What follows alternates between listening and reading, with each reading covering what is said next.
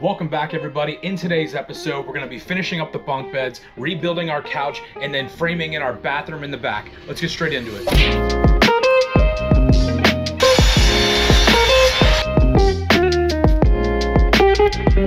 All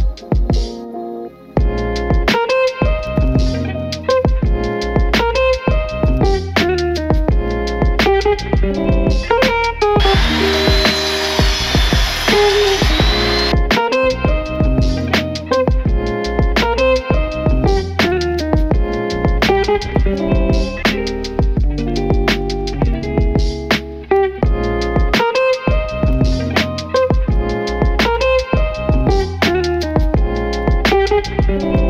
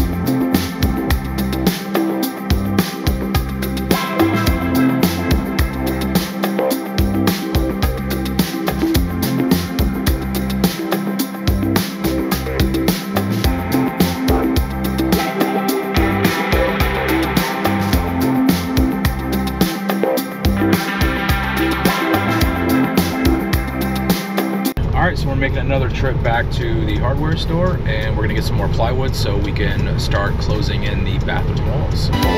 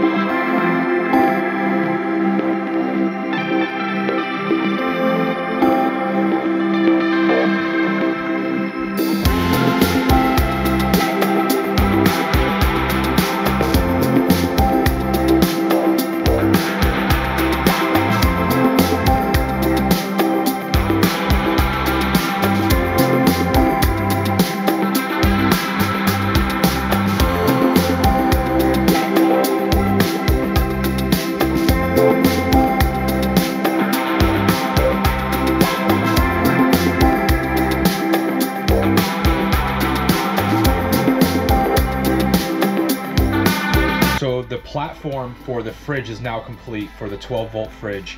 This is also a fridge and a freezer, which is really awesome and convenient. But now I have to run the 12 volt line up through the back, up through the walls, and all the way back up front to where all the battery compartment's gonna be.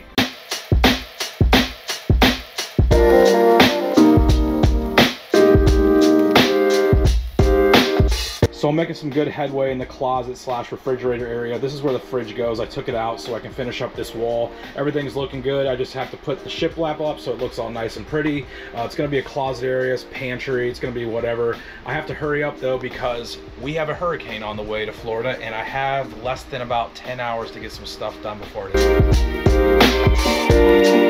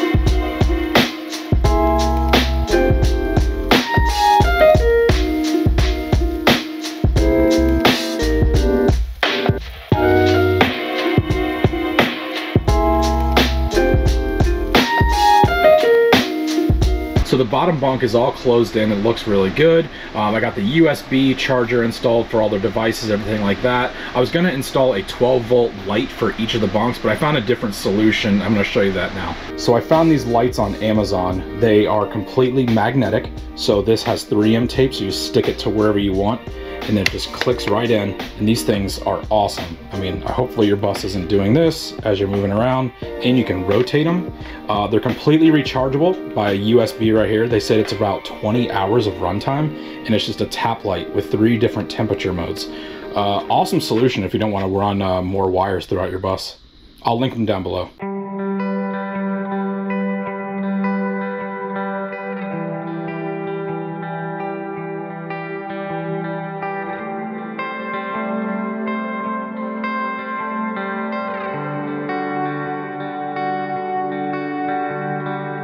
So that's going to wrap it up for this episode. Everything is moving along really smooth and fast now that we got all the meat and potatoes out of the way. So we rebuilt the couch, framed in the back bedroom, finished the bunk beds, framed in the bathroom itself. Now we just got to hook up the water system, which you're going to see in the next episode. Hit that like button, hit that subscribe button so you can follow along. Don't miss a single part of this build because we're getting toward the final stretch right now. And it's actually getting very exciting. Oh, and also, it's my birthday, so I'm going to go celebrate. See you on the next one.